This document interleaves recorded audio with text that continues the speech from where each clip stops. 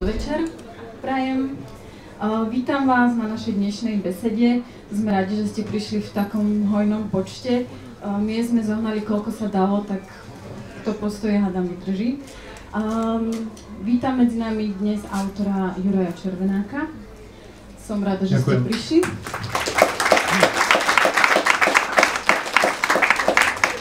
A ja som rád, že som to prežil. Cestu sem. Cesta bola dlhá, ste hovorili, že?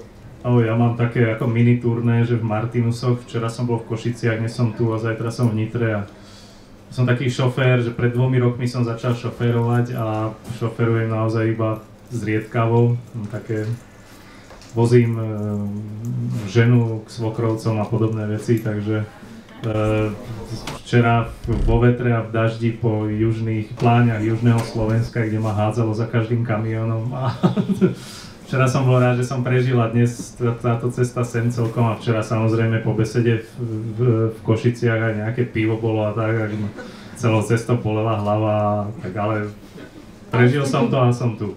Áno. A sme radi, teší nás Ak by som zaspal uprostred besedy, tak uh, sa ospravedlňujem. Nie, nie. Dobre, poďme sa, budeme sa rozprávať teda hlavne o vašej najnovšej knihe o, zo série historických detektívok. Budeme sa baviť o knižke Ohnivé znamenie, kde, má, kde sú hlavnými postavami uh, notar Barbarič a kapitán Stein. A toto je už tretia v poradí kniha, kde vystupujú. Prvá sa odohrávala v Šťavnici, druhá bola v Prahe a teraz prišli do Prešporku. Takže čo ich tam zaviedlo? No, mŕtvoli, alebo čo asi. Uh, ja hlavne k tej, ako ste tak načali, že budeme sa baviť o tej knihe, tak pre mňa je to trošku také ako zľahka desivé, lebo uh, mal som besedu na festivale Dní slovenskej literatúry, ktorú moderoval Dado Naď a on sa fakt celú hodinu asi tej besedy bavil o tej knihe so mnou ako a neustále sa pýtal na nejaké podrobnosti deja, a že teda ako, no a vieš, a Barbarič, on tam je taký, sa tak prejaví a teda začal, začal prezrádzať dej, ako Dado Naď má, má v, e, vo zvyku, on je taký ako prezrážač, naozaj sa mu raz na besede na krste mŕtvého na pekelnom vrchu podarilo prezradiť páchateľa počas, počas tej besedy. A tak ako mimo, reč, mimo, mimo, mimo, mimo reči e, nechtiac, on je e, on sám uh, hovorí, že, uh, že detektív, v detektívkach si vždy najprv nalistuje koniec, že kto je vrah a potom ju číta podľa toho, či ho to baví napriek tomu, že vie už to rozuzlenie, tak podľa toho vie, že to je dobrá kniha aj bez toho, aby človek len čakal, že kto teda ako uh, tam niekoho zavraždil, kto je páchateľ, tak takže on si vždy takto prečíta, takže už aj na tejto besede teraz asi pred týždňom či pred dvomi už som sa, už som, bol už som trpol a už som sa ho pýtal, už si čítal dokonca, už vieš, kto je páchateľ a on, že viem, viem a hovorím ticho, že pokus sa to neprezradiť. No ale bavili sme sa celý čas o tej knihe, on sa ma naozaj vypytoval na nejaké podrobnosti deja a uh, ja o tom tak ako nerad rozprávam, pretože tam mne sa dokonca včera v Košiciach skoro podarilo vykecať, akože, lebo som začal nejakú súvislosť tu zo záveru ohnivého znamenia, tá je tam taká historická súvislosť. E, ak náhodou niekto čítal, tak vie, že tam vystupujú nejaké osoby, ktoré sú tam ako prekvapivá, ich účasť a tak ďalej. No, e, už sa zase k tomu dostávam, tak akože prezrádzam v podstate, tak e, mne samému sa to skoro podarilo. Čiže o tej knihe, keď sa pýtate, že o, o čom je, alebo že čo ich tam zaviedlo, tak v podstate môžem povedať iba niečo, alebo chcem povedať iba čosi, čo je na zadnej strane niekde v anotácii, že jednoducho Barbarič počas, počas notár Barbarič Matej počas cesty e, z Viedne do Prešporka narazí na stopu nejakého zločinu, nejaké, nejaké mŕtve telá v lesoch podunajských. E, na základe toho zistí, že tam dochádza k únosom mladých žien, panien, možno že aj No a e, stopa ho vedie do Prešporka, teda do Bratislavy a tam on vlastne zistuje, že čo sú tie, e, kto tie dievčatá asi unáša, prečo, či to, či je to, či to je na nejaký predaj Turkom ako otrokynie, čo bol vtedy e, veľmi výnosný obchod samozrejme a e, husto sa realizoval na území Uhorska. Takže zistuje a medzi tým sa v prešporku potom e, samotnom začnú objavovať e, záhadné mŕtve telá, zavraždené, ktoré vyzerajú ako keby ich e, zaškrtil, zaškrtili horiace ruky, e, preto sa kniha volá ohnivé znamenie, preto je tam tá ruka na predku na obálke, je to ináč mimochodom moja ruka vlastná, takže ten páchateľ tam ktorý je vyobrazený tá ruka, tak je moja v skutočnosti. No, že ja som páchateľom knihy, no. Tak, e, a to je asi tak všetko, čo k tomu môžem nejak, e, vlastne nejak podrobnejšie povedať k tomu deju. A samozrejme všetko so všetkým súvisí a ten prípad sa pekne skomplikuje, zamotá a na konci zase rozmotá, tak to je asi tak všetko k tomu. Nepovieme viac, jasné. A iba to, že záver je dosť taký napínavý, a... No, dúfam. Áno.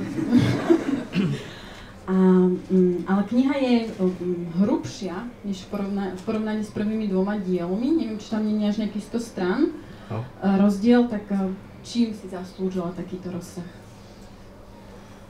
Lebo je to Bratislava, nie, nie je to vôbec tým. To je, uh, neviem, je to, je to náhoda. Čisto, že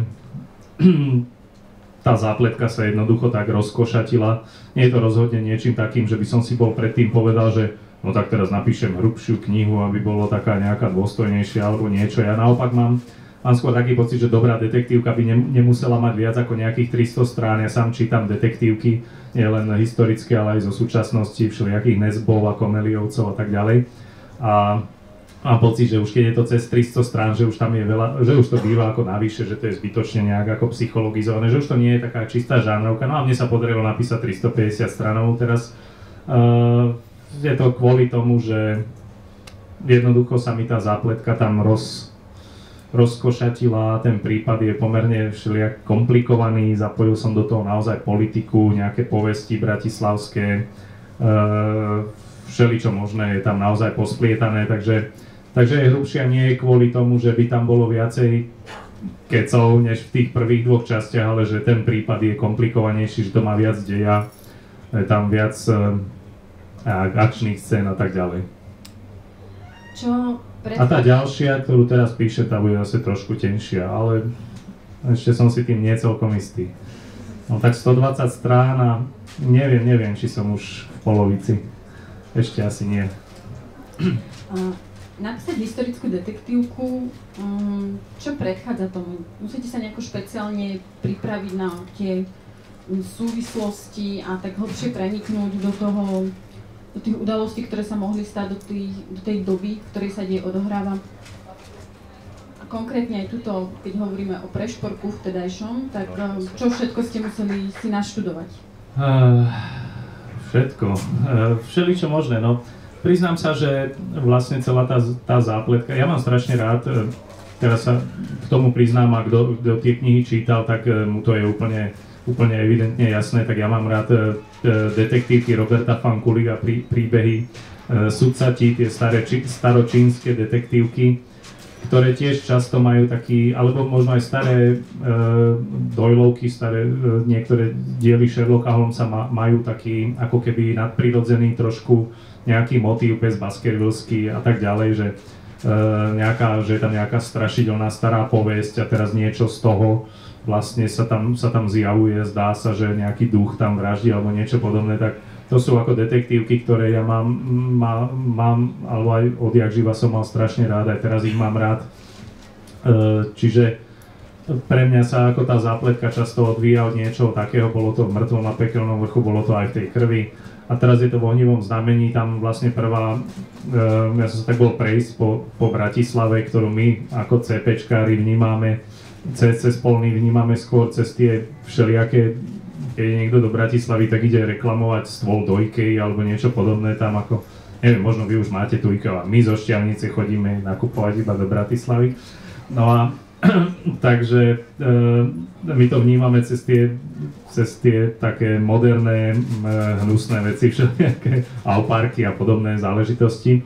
A to, to staré mesto Bratislava, ten prešporok historické, je v skutočnosti do, dosť pekné a je tam veľa zaujímavých pamiatok a tak ďalej a treba sa tam ísť poprechádzať niekedy. Tak ja som tam bol a bol som v dome svätého Martina, kde majú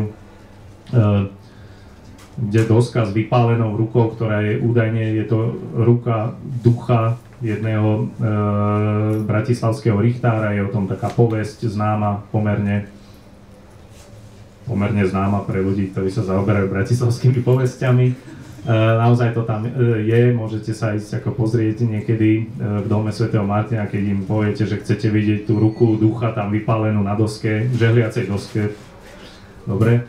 E, z nejakého 17. storočia, tak oni vám ukážu, že tam to je ona. Tak, a to pre mňa bolo také, že aha, že tak e, môj duch nebude vypalovať tú ruku na nejakú žehliacu dosku, aby niečo dokázal nejakej panne, ktorej sa on tam zjavil v tej povesti, ale že bude s tým niekoho škrtiť a tak. Takže e, od toho sa potom odvinula nejaká zápletka, na ktorú ja som si naštudoval a navešal všetky možné historické súvislosti a všetky možné aj ďalšie iné povesti a tak ďalej. A,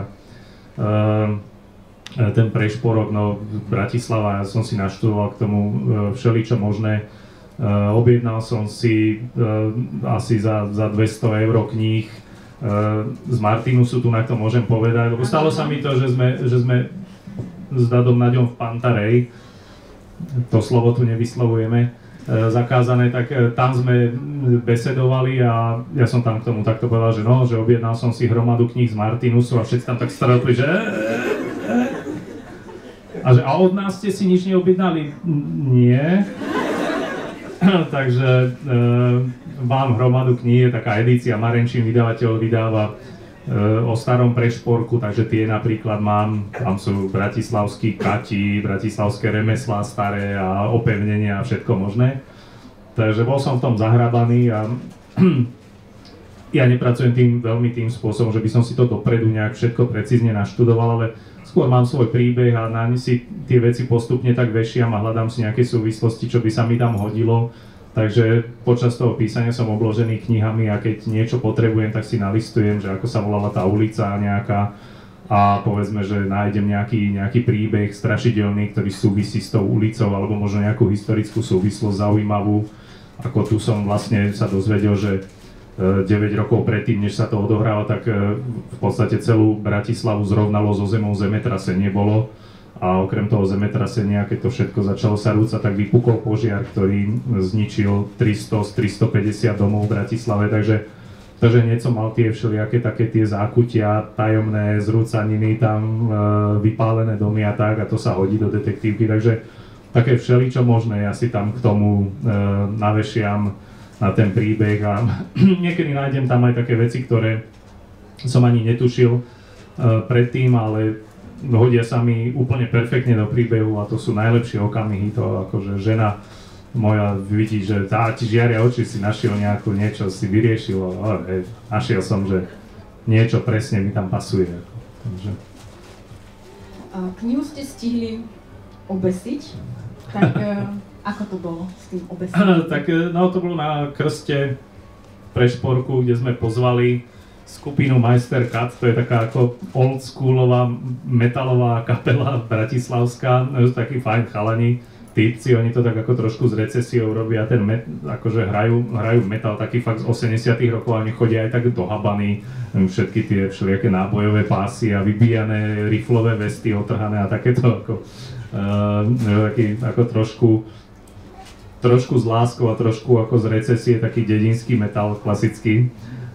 Takže ich sme pozvali, lebo oni majú takú tematiku, uh, Majster Kat, oni sú z Bratislavy kapela, oni majú tú tematiku majstrov katov bratislavských v aj tých svojich pesničkách, aj v celkovom takom, aj vidíte to logo ich je proste kapucňa, hák, hej, takže všetko, čo to potrebuje uh, nejaké, takže uh, Mám to ináč čistou náhodou teraz na sebe, ale dobre. Takže sme ich pozvali, no a po, oni majú aj také rekvizity, s ktorým natáčajú videoklipy a tak, donesli slučku, mali sekeru a všetko možné kapucňu majú, uh, katovskú takú tú, uh, čo ako blbosť, lebo Kati nikdy nenosili tie kapucne katovské v skutočnosti, ale to, to môžeme neskôr sa potom porozprávať a tak to je jedno. Uh, takže sme ich pozvali, a keďže to moderoval Rudy Rus, čo je moderátor rádia FM so zameraním teda na rock až na metal, takže on bol okamžite nadšený to, to, tým nápadom, on hneď povedal, že a keď tam prídu, musia aj zahrať. Hovorím si, že metalový koncert Martinuse, že to si ako, ja si to viem predstaviť, ale obávam sa, že tam v Martinuse veľmi nie.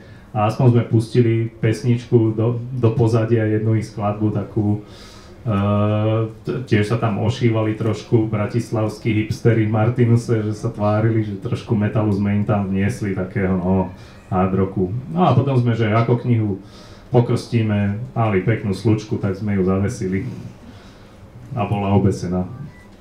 Kde skončila tá kniha? Vy máte takto Doma ju mám. aj s tou slučkou? Ja som ju zobral, že oni, mi, oni sú takí podnikatelia, Majster Cut oni tak majú všelijaké nálepky, robia magnetky a neviem čo, majú taký akože dobrý ten ako merchandising k tomu a oni nie, že musíš vydražiť na internete, no, kto by to chcel, akože kniha, ktorá je e, slučkou trošku ako do, dotrhaná, doškriavaná, tak ako nakoniec skončila u mňa. Keby niekto chcel, ako, e, moja žena ju čítala, že som doniesol domov kniha, ona túto si vezmem, tam už je taká že aspoň sa ne, aspoň nebudeš zazerať, keď ju nejak ako do, dohmatám, do, do, do ničím, tak, takže mám ju doma, možno ju raz vydržím. No. Možno raz, áno. Raz, keď budem slávny. Keď sme sa tu stretli naposledy, keď ste prezentovali knižku Mŕtvy na pekelnom vrchu, tak tam ste hovorili, že uh, predtým, než uh, kniha bola skončená, predtým, než ste dopísali, dali ste ju trom ľuďom čítať aby um, ste zistili, alebo aby vám povedali, či vedia, kto je vrah. A jeden odhalil vraha, tak ste ho zmenili. A ako používate tento osvedčený postup aj pri ďalších detektívkach? Uh, nie. Robím to. Ja som, ako, ja som samozrejme dlhé roky písal knihy um, historické alebo historickú fantasy. A Takže som si bol taký ako neistý tým, či viem, či, či viem vlastne napísať detektívku nejakú, ktorá bude fungovať ako detektívka, že to bude trošku prekvapivé, napínavé a tak ďalej. Takže keď som napísal Mŕtveho na pekelnom vrchu, tak som si skutočne vybral niekoľkých ľudí, ktorí sú takí ako detektívkoví, fajnšmekri a vyznajú sa, tak som im dal prečítať. Ale tu mi schválili, tak s ďalšími už som bol suverén, už som to nikomu nedával čítať, som si potom povedal, že tak viem písať detektívky asi. no, uh, zmenil sa páchateľ, bolo to tam, e, to, tam som v mŕtvom na pekelnom vrchu som ako s tým čaroval s tou zápletkou. Priznám sa, že aj teraz e, v tom ohnivom znamení som všelijako to kombinoval a teraz e, píšem už štvrtý diel a tiež som v polovici knihy a tak som ako dospel do takého štádia, že no a teraz už si musím vlastne ujasniť naozaj presne kto, s kým, prečo, za čo. Um, čo je trošku v kontraste s takým môjim tvrdením, že detektívka sa nedá improvizovať, že tam musíte mať presne napísané, že uh, vopred premyslené, že kto, koho a prečo ho zabil a ako, ako k tomu došlo a postupne to rozpletať. A teraz uh, ten, ten štvrtý príbeh bude trošku, trošku iný, um, je to skôr taký ako polit thriller o pátraní po nejakom atentátnikovi, ktorý sa vyhráža, že zabije niekoho Eh, Mateja Habsburského, následníka trónu a tak ďalej, takže, takže to bude trošku nie na ten spôsob, že hľadanie nejakého prekvapivého páchateľa, ale skôr, že eh, v podstate aj takmer vieme, kto je za tým a snažia sa ho len nájsť, vypátrať a skôr to bude o takom pátraní, takom... Takže všelijako sa s tým uh, borím. Uh, stáva sa mi, že niekedy v polovici knihy si tak ako často viem, e, nie že často vždy viem, kto zomrel a prečo, hej, to je jasné, kto je mŕtvol a viem, kto ho zabil a tak, ale e, v priebehu toho písania, ako aj v ohnivom znamení sa mi na to navešajú všelijaké vedľajšie dejové línie, až to nakoniec často tie knihy končia tým, že vlastne všetci sú do toho nejako zapletení, každý niečo vie a tak, že um, nie je tam len jeden páchateľ osamelý nejaký tajomný, vrah, ktorý tam niekde sedí v pivnici a e, kuje tie akože zločiny a e, často je tam dopletení, sú tam skoro všetci do toho rôzne, rôzne postavy tam, takže, takže to sa tak postupne vyvíja počas knihy, že, že kto ďalší ešte o tom vedel a kto je do toho zapletený. Ako si vy pomáhate nestratiť sa v deji?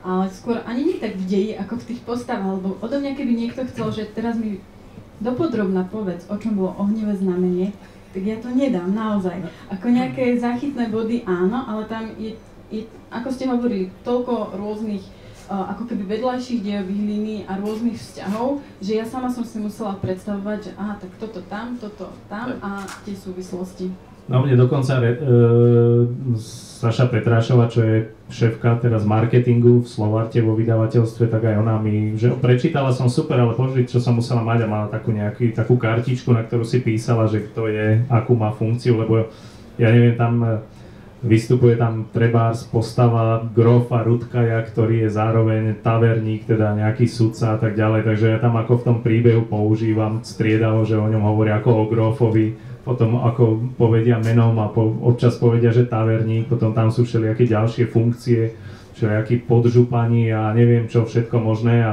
v tom sa ľudia trošku strácajú. Ako ja určite nie, ja mám ako pomerne tak ako presne viem, že čo kto.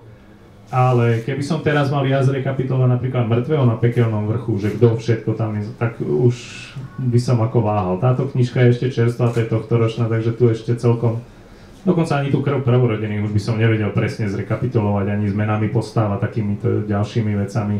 Trošku by som to musel prelistovať, aby som vedel. No.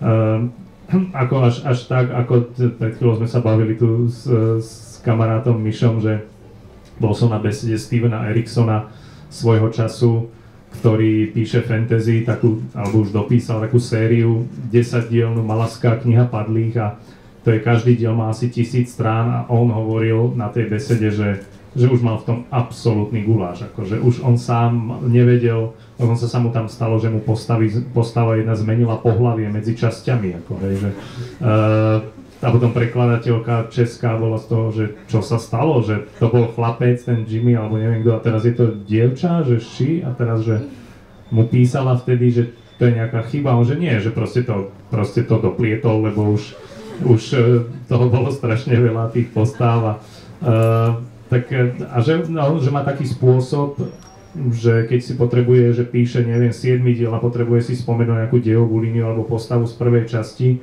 tak už to ani nehľadá, že dá to na svojej stránke, na webe, ako dotaz do diskusie a tam sa okamžite ozvú tí čitatelia, ktorí sú perfektní encyklopedisti celého toho sveta a vedia to úplne presne, tak mne sa tak stalo, že mám takú sériu uh, fantasy bohatier a uh, niekto sa ma na, nie, na niečo pýtal a uh, v tretej časti bola jedna z hlavných postav, je taká hrdinka, ktorá fakt prechádza celou toho 600 stranovou knihou a ja som si nedávno ako nevedel, že zrazu som zistil, že si neviem spomenúť, ako sa volala. A to je hlavná hrdinka akože knihy, akože hovorím, ako sa volala niekto mi, že Semira, aha, jasne. Takže počas písania sa nestrácam rozhodne, e, viem. Občas samozrejme človeku niečo, niečo ujde sem tam, nejaká, nejaká súvislosť, na to by mal byť redaktor alebo, alebo korekt, korektúry, ktoré či ľudia vo vydavateľstve e, by na to mali upozorniť, na niečo také ako, že aha, tu ti ušlo, že počet mŕtvol nesedí. Ináč tu je, a tu by som mal urobiť takú súťaž, v ohnivom znamení nesedí ako počet mŕtvol ako v jednej scéne, ale dobre ja som si nevšimla, takže asi by som si to mohla no, prečítať ešte tam raz. také, že nejakí štyria ľudia a teraz, že všetci tra... No, dobre. Možno viem, pretože som sa zamýšľala Je to úplne na konci, ako, ale to je jedno. Uh, dobre, v jednom takom rozhovore som... Odflaknuté proste. tak nepostrehli sme, no tak... Tak chrlím, chrlím to, to jedno za druhým, tak jasné, že už potom je v tom bordel, no. Uh, v jednom rozhovore ste povedali, že ak by ste sa mohli stretnúť s niekým z týchto postav, takže by ste sa radi stretli s notárom Vajbaričom. Prečo? Tak, lebo on je tam jedin, jediný z nich taký ako trošku ľudský, že by sa s ním dalo aj v dnešnej dobe možno trošku porozprávať, lebo ostatní sú doboví, takže sú to v podstate také ako obludy z dnešného pohľadu naozaj. Sú to, e, ja sa snažím to tak napísať e, písať to teraz spôsobom, aby to bolo prístupné dnešnému čitateľovi logicky, ale napísať tie postavy samozrejme tak, aby boli ako pomerne uh, verne dobové.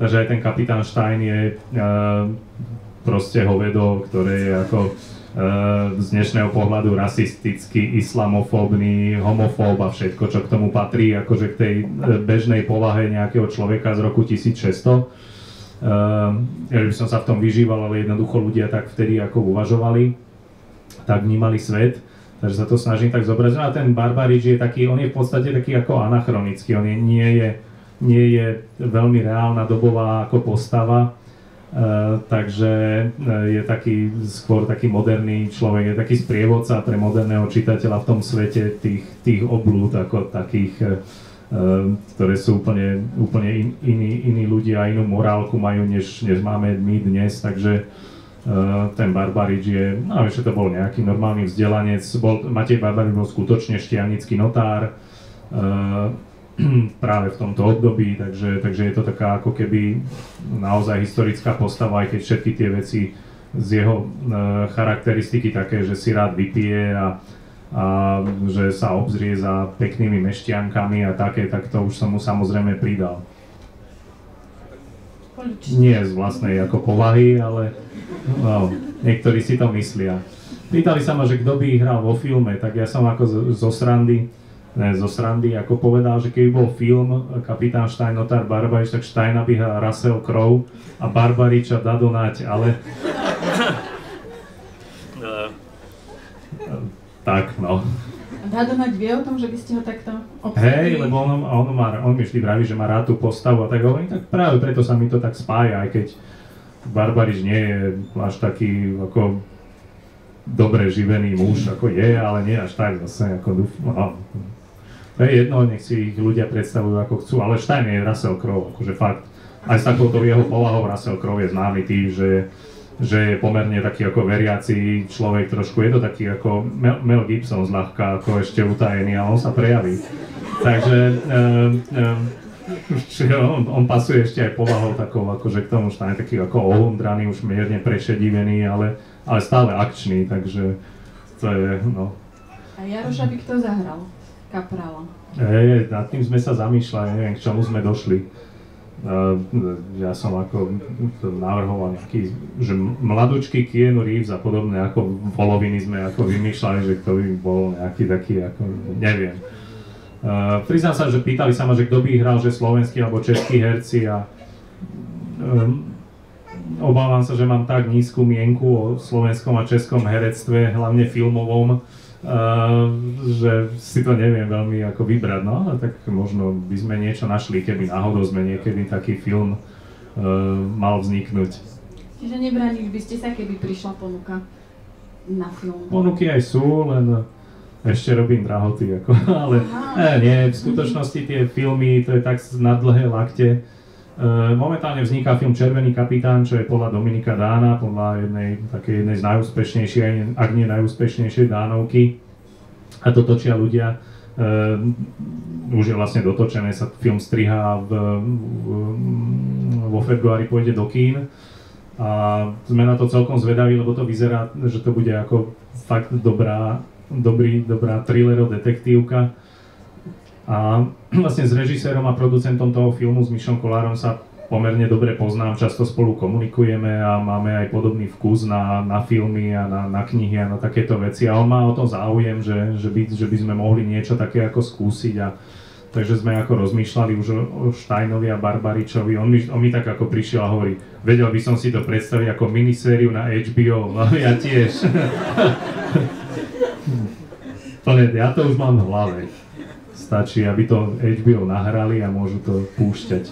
Takže, eh, no, tak to sme mali také ako srandovné vízie, a, ale plus máme ešte jeden taký, takú vec, na ktorej by sme chceli pracovať. Ja mám jednu takú knihu v hlave, eh, že taká ako temná, mysteriózna detektívka, v ktorej bude vyšetrovateľom Pavol Dobšinský a bude to mať také ako prvky rôzne slovenských rozprávok, tam budú zapletené do toho a tak niečo, tak toho strašne zaujíma. Toho zaujíma viac ako Štajna Barbariš, takže uvidíme. No.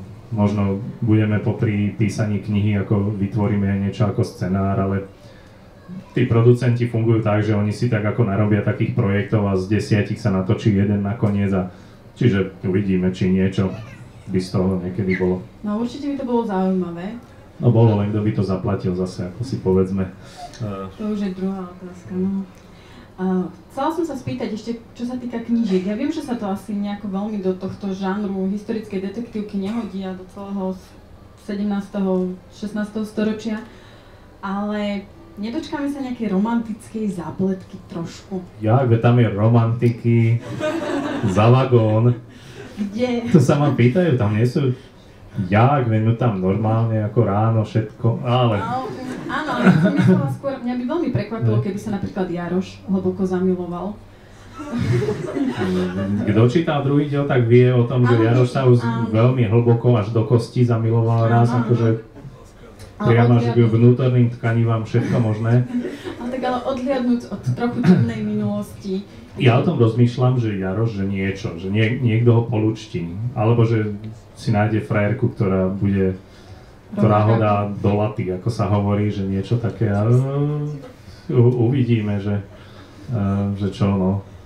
To je zaujímavé, že, že dievčatá alebo žen, ženské, ženské publikum, ženské, ženské čitateľky ako e, reagujú najlepšie na toho Jaroša, že on je taký ako mladík, tam tajomný, no. aj taký, že drsný trošku, akože v posteli, tak e, to majú, takže ja som napísal, že na Facebook, keď tá kniha vyšla, tak na svojej stránke na Facebooku, že ak niekto v komentároch, že vykecne páchateľa, alebo jak, aké to má rozu, rozuzlenie, kto je tam do toho všetkého zapletený, takže, takže za ním pošlem kaprála Jaroša. Samozrejme, prvý komentár bol nejaké, nejaká mladá slečna napísala, že idem si to okamžite prečítať, vykecnem to, lebo by som chcela, aby prišiel akože kaprál Jaroš uh, ma trošku mučiť alebo niečo podobné, hej, takže, uh, takže ale, a čakal som, že to, že to príde, že to niekto takto ako pojme túto tematiku.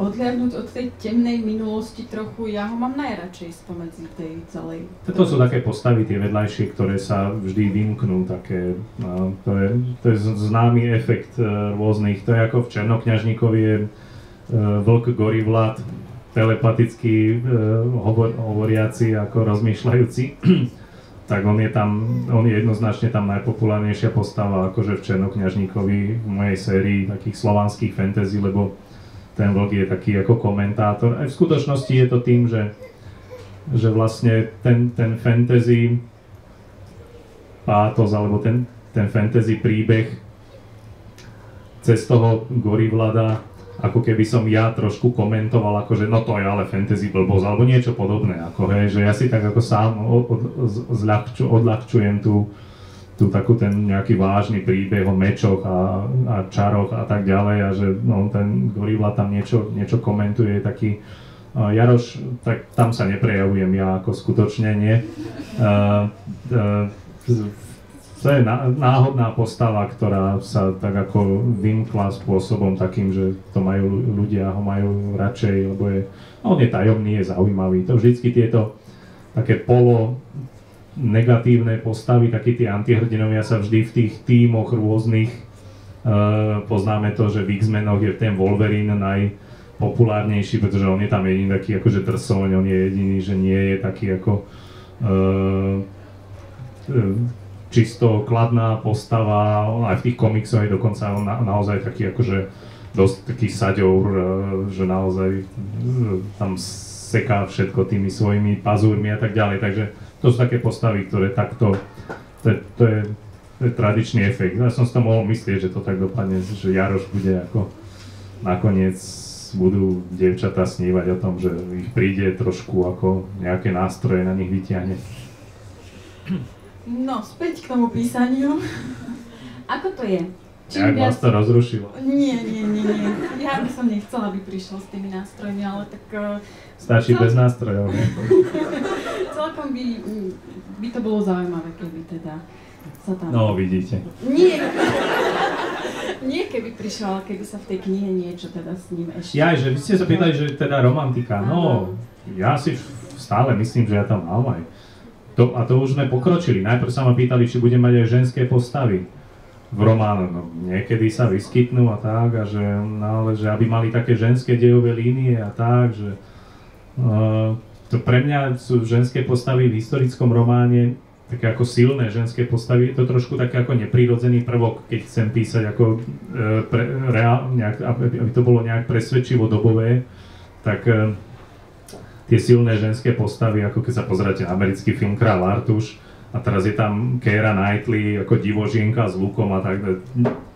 To je ako somarina samozrejme, nič také ako že v histórii e, buď neexistovalo, alebo to bolo veľmi vzácný ako prípad niečoho takého, akože tých silných e, žien, takých vodcovských a tak, čiže um, už, už v týchto troch častiach je, je toľko e, žien, ktoré sú príliš ako výrazné, silné na, na svoju dobu, Ehm, na to 16. storočie, keď to fakt boli len ako väčšinou, väčšinou len e, rodičky, e, deti a udržiavateľky nejakého domáceho kozubu, tak e, ale tak, podľa mňa tá romantika je, veď toto Barbarič sa znovu stretne s jednou postavou z prvej časti a niečo tam ako prebleskne a to mi ako, podľa mňa to do detektívky stačí, zase tam nemusíme rozvíjať, že neviem čo.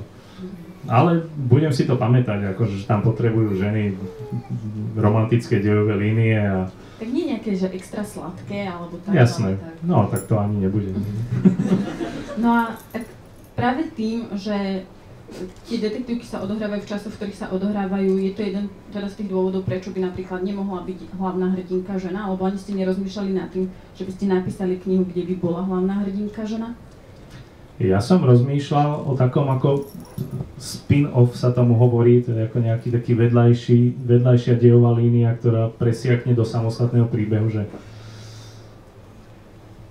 rozmýšľam, nakoľko teraz chcem niečo prezrádzať z tejto knihy. Vystupuje tu postava, ktorá sa už vyskytla aj v iných e, predchádzajúcich častiach niekde.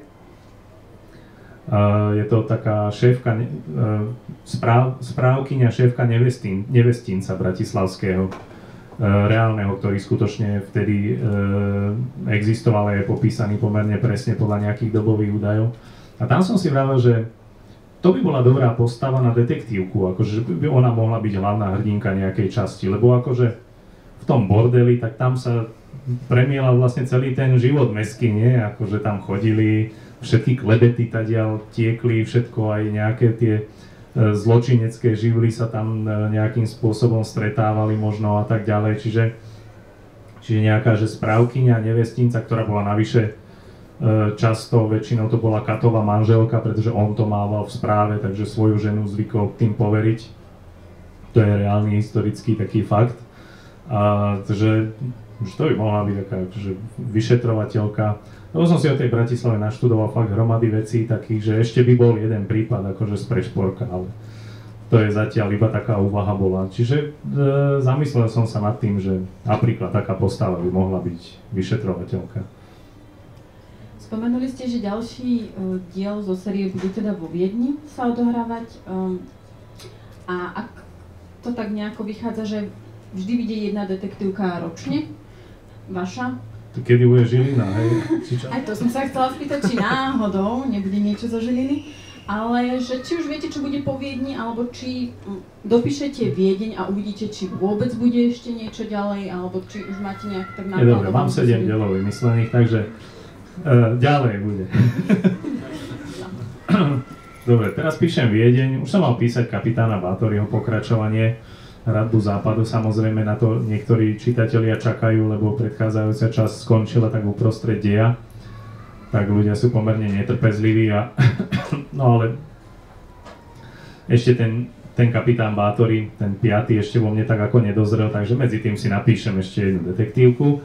Uh, takže píšem diel, diel viedenský, Neviem, či sa chcete na ešte niečo pýtať, či môžem Prečítame niečo povedať si. o tom. Myslím, Dobre.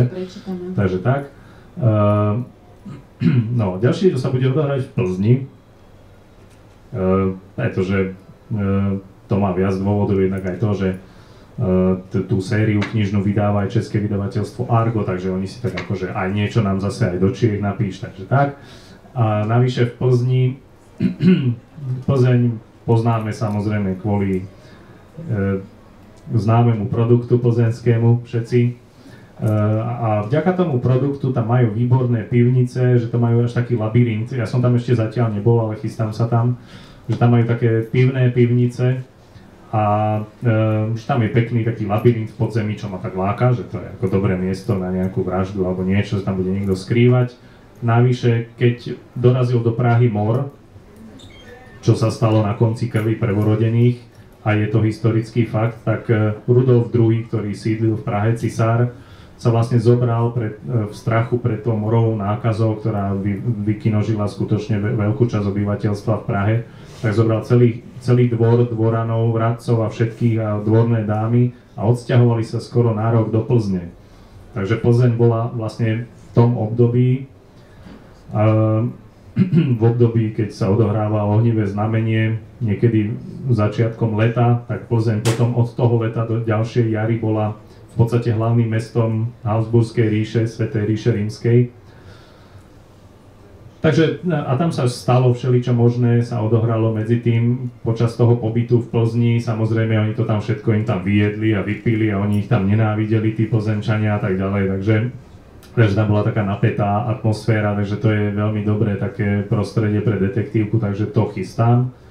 A šiestý diel, ten bude, ja som ho nazýval pôvodne východ, teda kokošický, ale teraz musím Teraz musím, že východniarsky, lebo som bol nedávno na besede v Prešove a tam sa ako zdesili, že idem napísať čas, ktorá sa bude odohrávať u, uh, u vraňárov, lebo oni sú koňáre, tak oni ako, my sa tak, neviem, či to viete, oni sa tak volajú. Košičania sú vraňáre, lebo vrany a, a Prešovčania sú koňáre, lebo predávali koň, hej, obchodové sklady. A oni sa tak ako po, na poli, po, neviem, vy tu máte niekoho takého, že to mesto, lebo u nás máme zvolen s Bystricou sa ako, tak ako ne, neznášajú ako keby, také súperenie. Ne, vy ste súverení, dobre. No a Košičania s Prešovčanmi, oni sa tak ako nemajú radi, keď som to rozprával včera v Košiciach, tak to oni boli ako úplne, že tam bolo povstanie, že nesmie byť v Prešove, samozrejme sa to odohrávať a oni, no som v Prešove, tam dievčatá z knižnice hneď doniesli mi knihy, a tu máš, pozri, nenápadne, že pozri, že dejiny Prešova a všetko pozri, tu máš krásne opevnenie, aké boli hradby, že čo, kde, kto sídlil, všetko tu máš, schému mesta v roku 1600, všetko, čo potrebuješ, napíš, nepíš žiadne Košice, napíš, že ten diel bude z Prešova, takže to nakoniec asi urobím tak, že sa to bude odohrávať aj čiastočne v Košici a čiastočne v Prešove, bude to východniarský diel proste, no.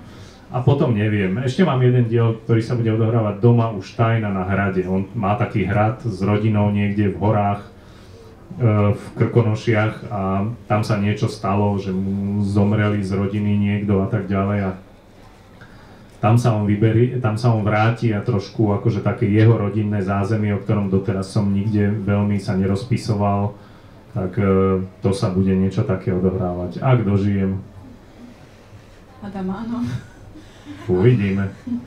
Tak ale to určite aj Barbariča potom v tej knihe poteší, lebo on by tak rád chcel vedieť niečo zo Štajnovej minulosti. Ja som práve uvažoval, že či tam on bude. Ako. A, tak... Či tam vôbec bude vystupovať. Ja sa pre ňu som mal tiež samostatný prípad vymyslený, ale dobre, to je jedno, ale mám toho všeličoho v hlave a nejdem to pliesť, lebo potom ľudia sa budú na to pýtať, a kedy to bude a na to tak zvyknem utrúsiť niekde na besede, že no, niečo také by som chcel napísať, potom ľudia chodia, že kedy to bude že už to malo byť a tak. Trošku nátlak. Mal si napísané na webe, že bude 7. černokňažník už v roku 2014, kde je? Kde je? Flákaš to? No. Je toho veľa, no.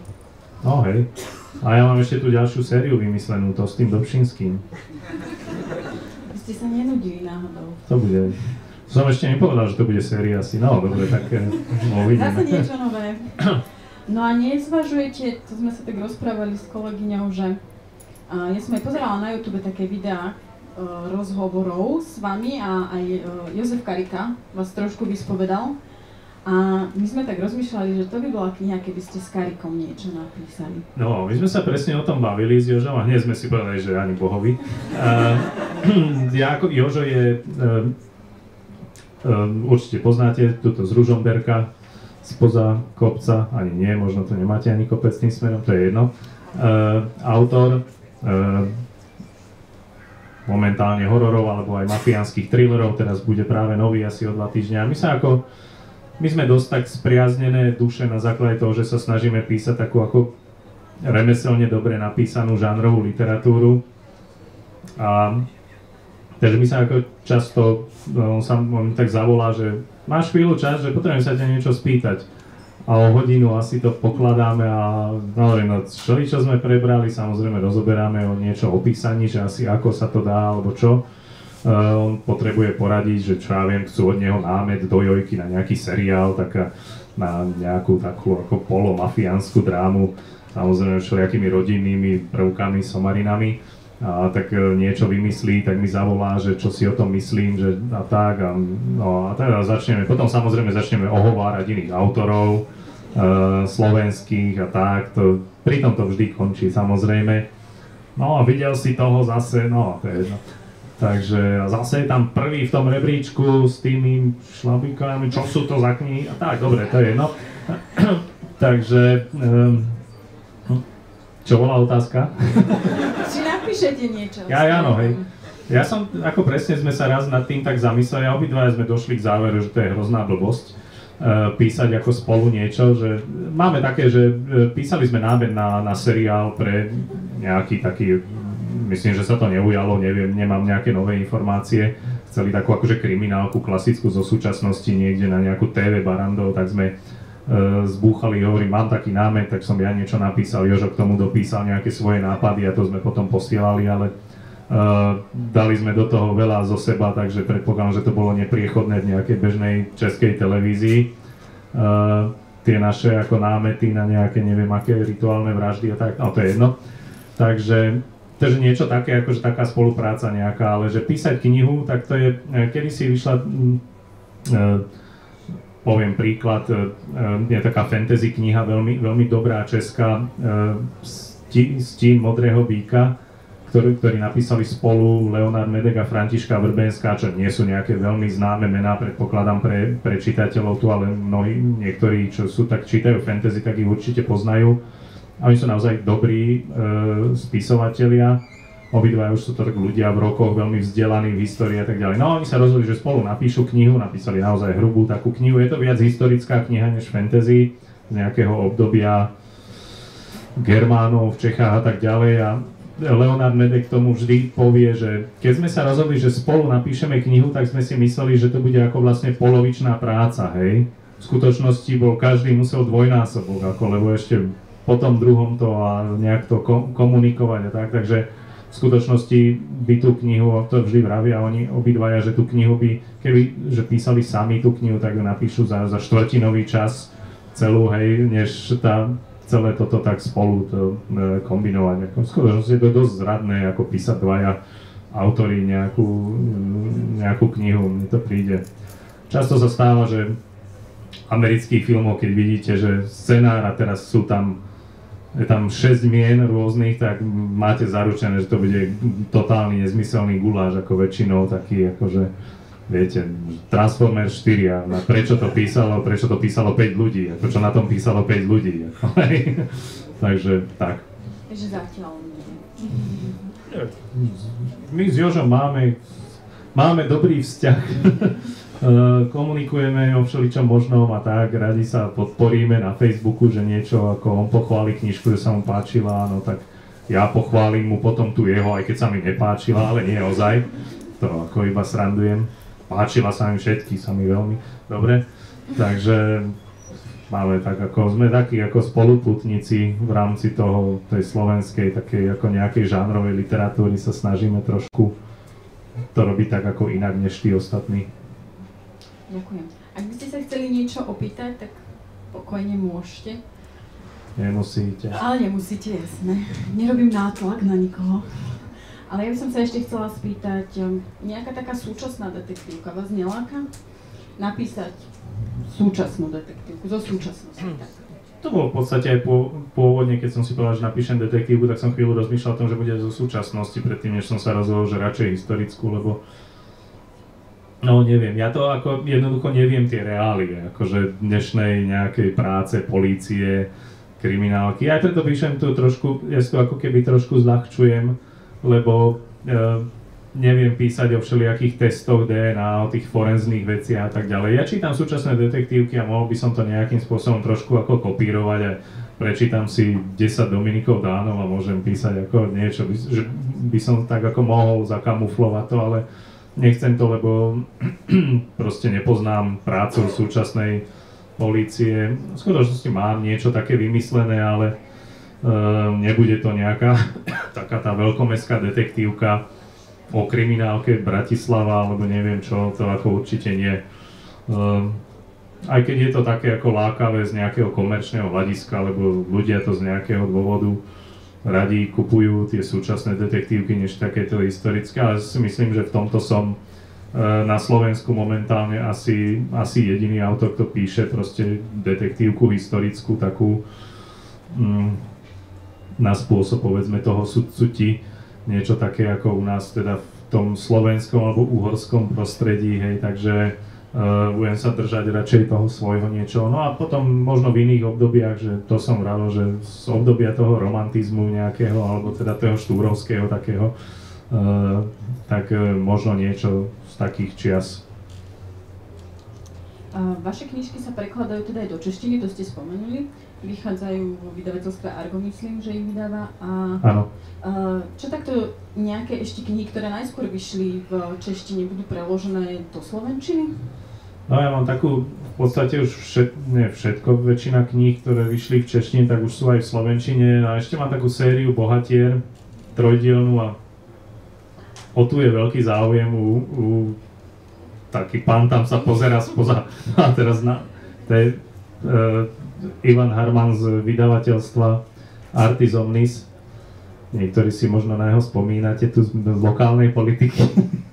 Takže uh, uh, Ivan s Andreou vydali aj Černokňažníka v Slovenčine, aj Sekeru z bronzu a pravidelná otázka je, že tak kedy vydáme toho bohatiera po slovensky a, a mávame okolo toho všelijaké také debaty, že ako, že tú knihu by som musel po sebe znovu trošku prečítať a učesať, aby bola taká ako, aby som s ňou bol dnes spokojný na, naplno. A, a také rôzne, ale jedného dňa sa to asi stane, uvidíme. Navyše teraz píšem dosť takou frekvenciou, že dve knihy ročne a ešte pridáva do toho ďalšie, tak by bolo už prečervenákované potom, tak veľmi sa mi zdá z toho. A ľudia sa na to pýtajú a chceli by bohatiera si kúpiť ako v, v slovenskom preklade, v, origi- v slovenskom origináli, ako, takže uh, uvidíme, čo z toho bude. Prekladám, že potom si pôjdeme niekam sadnúť a Ivan, no tak ako bohatier, že kedy, čo už, tak Áno. Ešte, ja mám rozpísaného 7. Rogana, tak ešte to máme taký akože, dobre, tak uvidíme. A ja som okolo toho rozprával teda, že a budeme teraz vydávať bohatiera, akože teraz tie také, uh, buď si budú myslieť, že sme nejakí ako rusofili, alebo nás zase tamtí budú neznášať, také tieto veci sú teraz tie, sa ako neznášajú medzi niektorí, niektorí milujú Putina, niektorí si zase myslia, že je to absolútny ďábel, tak akože uh, že trošku je to taká téma, že budeme vydávať knihu o Rusov a hneď nás bude, príde nám Čarnogórsky potriaz rukou alebo niečo podobné, dobre, ako ne, ne, necháme to tak radšej. V jednom tom, v tom videu, ktoré ste teda uh, nakrutili s Jožom Karikom, tak tam ste tak rozoberali, že keď autor píše tieto série a píše ako rozsiahlejšie diela, tak potrebuje takú, niekedy takú, že oddychovku vyslovene. Mm a tak ma zaujímalo, že či vy tak nepíšete bokom niečo také jednoduchšie, keď to takto niečo, pričom si vy sám oddychnete. Niečo tak 100, 120 stranové. No, pre mňa takou knihou bolo, volá sa to, že Štrkáč Kelehen, čo je taký ako western, westernová fantasy, taká poloparódia, tak e, to bolo pre mňa taká, taký vedľajší e, projekt napísaný najprv na pokračovanie do časopisu Pevnosť, čo je taký český časopis pre science fiction fantasy a neskôr vyšiel knižne iba, iba v češtine. E, že to je taká bokovka, čo ja viem, ani, ja mám ako, niekedy mám pocit, ja som pôvodne začal s týmito Steinom a Barbaričom, že to bude také, ja budem písať tie, ako tie ságy, o kapitánovi Bátorim a o takých ďalších týchto ako mojich starších hrdinoch a dokonca možno ďalších bohatierov a tak ďalej. A potom som si povedal, že a pomedzi to si budem tak ako e, tieto detektívky len tak ako 200 stranové, no a potom už to dospelo do tohto štádia, že 350 stranové ohnivé znamenie. A bola to kniha, ktorú som písal ešte dlhšie než toho Bátoriho posledného, aj to, aj to bolo ťažšie také, takže to bola pôvodne taká bokovka a teraz je z toho taký môj hlavný, hlavný projekt ako v skutočnosti. Pretože jednak ma to naozaj baví, momentálne toto najviac, určite tieto historické detektívky, ale už zase už to cítim, že už píšem ten ďalší diel hneď po, štvrtý píšem hneď po treťom a už budem potom potrebovať si to prestriedať s niečím. No, takže, čo som sa zamotal, dobre. Takže nie, nezamotali. Ja som hej, stihla všetko. Uh, takže nejaké také vyslovenie tie bokovky, toto ste hovorili, že tak to bolo, ale skôr ma zaujímalo, že či máte aj teraz niečo rozpísané, tak len tak, niečo pre seba, viem, že viem. do šuflička. Nie, nie, tak do šuflička. Mňa tie knihy moje ako bavia perfektne, ako nie je to pre mňa nejaká taká, že že toto je tá robota a popri tom si niečo píšem pre potešenie. Ja si toto píšem pre absolútne potešenie, hej, čiže akurát, že už mám, už mám to šťastie, že si to nemusím písať do šuplíčka, že dnes mám naozaj vydavateľov, ktorí sú ochotní mi vydať ako naozaj aj toho Kelehna, ktorý je ako paródia na Vinetu a v podstate ako, ale uh, a na ďalšie ako veci, také všelijaké, uh, takže sú ochotní mi to vydať a čo je úžasné, potom dokonca si to ako kúpi dosť veľa ľudí na to, aby mi potom vydavateľ povedal, že No vidíš, že jak, jak dobre, že sme, ako aj ja som spokojný, aj ty si zarobil a tak, že si to ľudia kupujú jednoducho a že sa im to páči, dokonca mi tak niektorí mi napísali, to je najlepšie, čo si napísal, že úplne, že vykašli sa na tie tvoje detektívky a na fantasy ságy, tu píš tie westerny a tak ako o tom, jak pištolníci strieľajú zombíkov a tak, že to je ono. To bolo vidno, že to ťa bavilo, že to bolo ako s chuťou napísané, len tak ako bez úmyslu žiadneho, bez ambície, len ako pobaviť Takže to je ono, že to je najlepšia kniha, akú si napísal. No. no.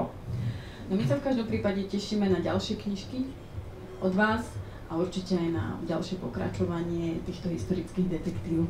Ja som všetky svoje otázky vyčerpala. Ďakujem vám veľmi pekne za všetky odpovede.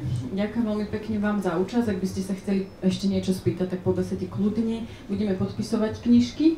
A dneska sú s 10% zľavou, to musím podotknúť, takže... A viete, už to hádžu zadarmo po ľuďom. Máme toho plný sklad.